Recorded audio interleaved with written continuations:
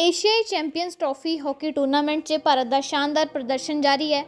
ਹਰਮਨਪ੍ਰੀਤ ਸਿੰਘ ਦੀ team India ਨੇ ਸ਼ਨੀਵਾਰ ਨੂੰ ਪੂਲ ਗੇਟ ਦੇ ਮੈਚ 'ਚ ਕੱਟੜ ਵਿਰੋਧੀ ਪਾਕਿਸਤਾਨ ਨੂੰ 2-1 ਨਾਲ ਹਰਾਇਆ।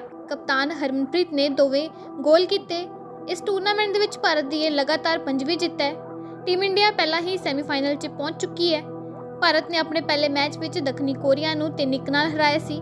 ਉੱਥੇ ਹੀ ਦੂਜੇ ਮੈਚ 'ਚ ਟੀਮ ਇੰਡੀਆ ਨੇ ਮਲੇਸ਼ੀਆ ਨੂੰ 8-1 ਨਾਲ ਹਰਾਇਆ। ਤੀਜੇ ਮੈਚ ਦੇ ਵਿੱਚ ਭਾਰਤੀ ਟੀਮ ਨੇ ਜਾਪਾਨ ਨੂੰ 5-1 ਨਾਲ ਹਰਾਇਆ।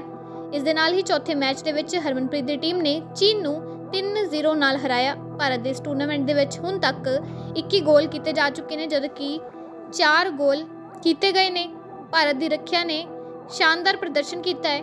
ਇਸ ਟੂਰਨਾਮੈਂਟ ਦੇ ਵਿੱਚ ਹਰਮਨਪ੍ਰੀਤ ਨੇ 5 ਅਤੇ ਅਰੀਜੀਤ ਸਿੰਘ ਨੇ 3 ਗੋਲ ਕੀਤੇ। ਭਾਰਤ ਲਈ ਕਪਤਾਨ ਹਰਮਨਪ੍ਰੀਤ ਨੇ ਦੋਵੇਂ ਗੋਲ 13ਵੇਂ ਅਤੇ 19ਵੇਂ ਮਿੰਟ ਦੇ ਵਿੱਚ ਕੀਤੇ। ਇਸ ਦੇ ਨਾਲ ਹੀ ਪਾਕਿਸਤਾਨ ਲਈ ਇੱਕੋ ਇੱਕ ਗੋਲ ਅਹਿਮਦ ਨਦੀਮ ਨੇ 7ਵੇਂ ਮਿੰਟ ਦੇ ਵਿੱਚ ਕੀਤਾ। ਉਸਨੇ ਗੋਲ ਕਰਕੇ ਪਾਕਿਸਤਾਨ ਨੂੰ 1-0 ਨਾਲ ਅੱਗੇ ਕਰ ਦਿੱਤਾ ਸੀ। ਹਾਲਾਂਕਿ ਹਰਮਨਪ੍ਰੀਤ ਨੇ ਪੈਨਲਟੀ ਕਾਰਨਰ ਤੇ ਗੋਲ ਕਰਕੇ ਟੀਮ ਇੰਡੀਆ ਲਈ ਵਾਪਸੀ ਕੀਤੀ। ਸੈਮੀਫਾਈਨਲ ਮੈਚ 16 ਸਤੰਬਰ ਨੂੰ ਅਤੇ ਫਾਈਨਲ ਮੈਚ 17 ਸਤੰਬਰ ਨੂੰ ਖੇਡਿਆ ਜਾਵੇਗਾ।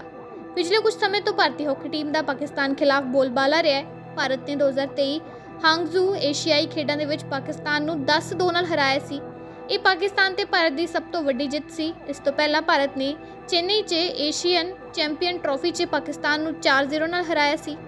ਨੌਜਵਾਨ ਭਾਰਤੀ ਟੀਮ ਨੇ ਜਕਾਰਤਾ ਵਿੱਚ 2022 ਏਸ਼ੀਆ ਕੱਪ ਵਿੱਚ ਪਾਕਿਸਤਾਨ ਨੂੰ 1-1 ਨਾਲ ਡਰਾਅ ਅਤੇ ਰੱਖਿਆ ਸੀ।